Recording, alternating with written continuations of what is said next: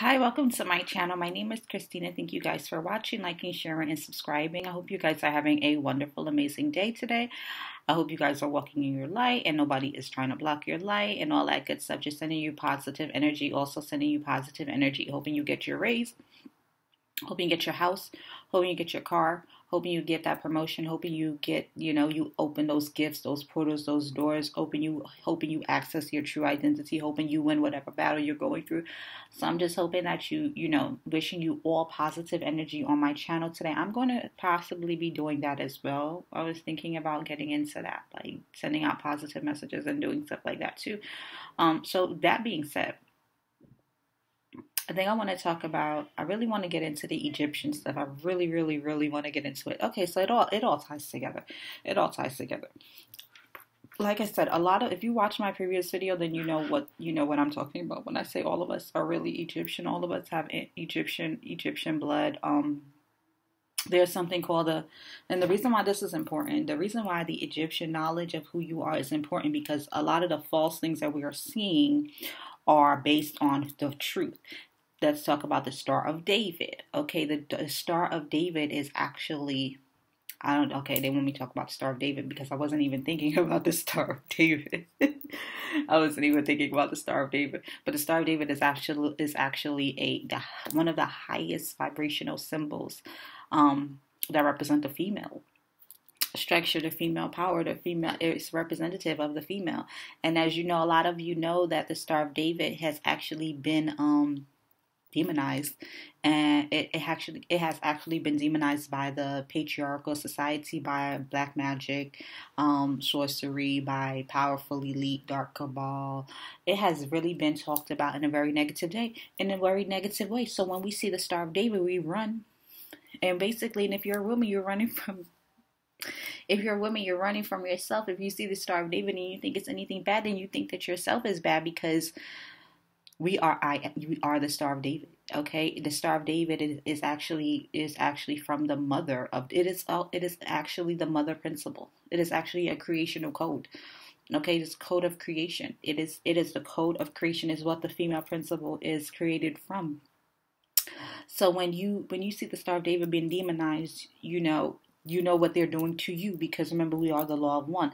So if it's being done to if they're demonizing it it's they're actually demonizing you. It's energy. Remember everything is kind of energy.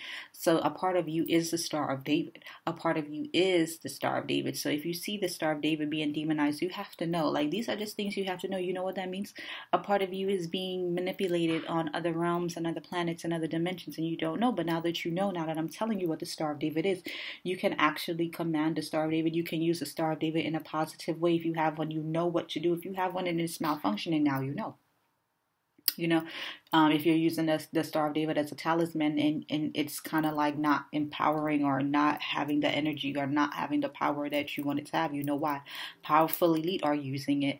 Okay, powerful elite are using it with the um this is really not what I wanted to talk about, but I guess it ties into everything. So um, I'm going to talk about it. So the powerful elite, yes, they use their deities. They use their and what are deities? What are deities? They're demons. Okay, they're demons. Okay, they're interdimensional. They're interdimensional. They're, it's like the shadow world. The shadow world is so comp. It's just like this. To be perfectly honest with you, the shadow world is just like this. Where you have your government, you have your president, you have your vice president, you have everything like this in this physical world. You have it in the shadow world. So anyway, so the Star of David is being used by the powerful elite. Now they they they sacrifice to their deities. Who are the who are their deities? Their deities are demons. Okay, their deities live in the interdimensions and in the multi-dimensions. Okay, and they um they basically give them protection. They give them they exchange their energy, their sexual fluids, their money they do whatever they t- whatever the deity tells them to do at the time of exchange energy exchange um, for power. Whatever the deity tells them to do is what they do. So it could be child sacrifice, it could be blood sacrifice, it could be worship, it could be worship, it could be energy, sexual, non-sexual, killing, murder, whatever. And so what the deity does now is give them power, whatever it is that they want, they can get. You know, whatever to them I'm, I'm, I'm telling you how the system works. Now I don't I I know that and, and some it has been working for many years because we've been sleeping. You know, we've been sleeping and this is why we're getting our behind kicked because our ancestors are like, How are you letting them use um, all of your tools and your jewels and your gifts that we have left you? Okay, the Star of David was left, it's a creational code, it's a it's the female empowerment tool. Um, so how are we letting these powerful people use these things? They know stuff that we don't know. Okay, they're accessing it in a negative way but never ever be scared of that. So the Star of David is used by interdimensional entities, interdimensional deities, interdimensional gods, and stuff like that. They live in the interdimensions, they live in the underworlds, they live in the between spaces. Like, remember, I told you that we're in the lower heavens, our ancestors and stuff are in the higher heavens, so there's a space here, right? There's a space between us. They live there and they do whatever they do. And they build structures.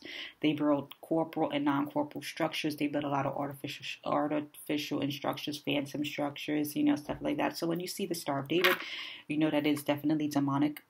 Okay, when it's not being shined on the way that it's supposed to be shined on, it is definitely demonic. Okay, so you definitely want to know that. Okay, um, now the reason why I wanted to talk to you about that is because yes, in Egyptian, in Egyptian times, they uh, these are all symbols. All of these things are symbols, but they're energy and they're connected to your ancestors, and they they've been stolen by the powerful elite. They've been stolen by intermediary entities. They've been stolen by most shadow government. They've just been stolen. Everything has been stolen. So this is how it's all connected. It's all stolen. You have so much power. We have so much power and we don't know. So when you see the Star of David, when you see the pan, when you hear about the pantheon of gods, okay, the pantheon of gods, okay, it's a tree of life. It is a tree of life. It is there. It is a true tree. There is a true tree of life, and it is an Egyptian. It is an Egyptian tool. It is an Egyptian structure. It has been cloned, replicated, used, and for sacrifice. Now, a lot of people um, a lot of people look at Egypt and they look at Africa like they think they automatically think of negative energy. They automatically go to witchcraft. They automatically go to they automatically go there.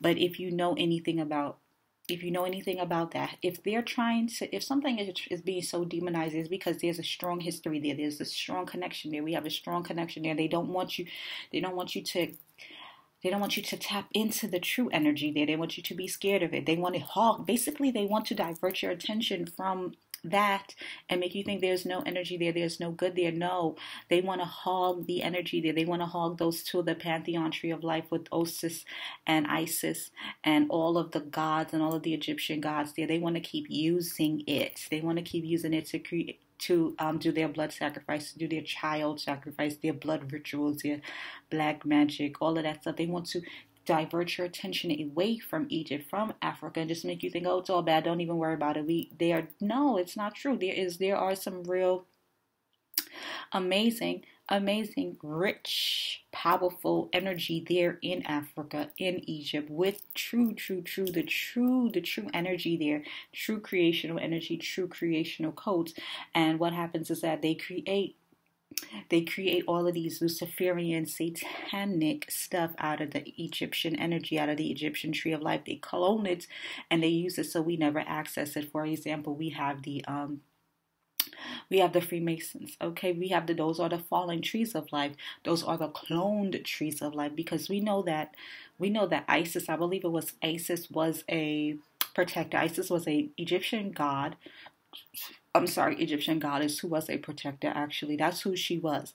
Now, if you know anything about Freemasonry, and if you know anything about the Illuminati, you know that these are patriarchal dominated cultures and patriarchal dominated forces who control them. Now, you know that is nothing like what his true history is about. If you know true history, you know that you have a lot of goddesses that actually protected and resurrected the gods. Those are cloned. Those are cloned true artifacts, true, true, true angelic, true form, pure history that is being used for satanic um, agendas for the New World Order, for the One World Order, for Luciferians, for satanic, for draconians, for shapeshifters, for reptilians, for all that stuff. So I will be getting more detail into that, but this is just a snippet of that. So you could definitely look into your history, look in your Egyptian, look into your Egyptian history, look into the Egyptian, um, Egyptian um, legacy history of um, of Ged, of Osiris, of Isis. Um, look into it, get into it, see what it's about. Look into the Star of David. You have to really know your history and your legacy for yourself. Do not let anybody steal it from you because that's exactly what they did in the past and that's exactly what they're trying to do now. So thank you guys for watching, liking, sharing, and subscribing.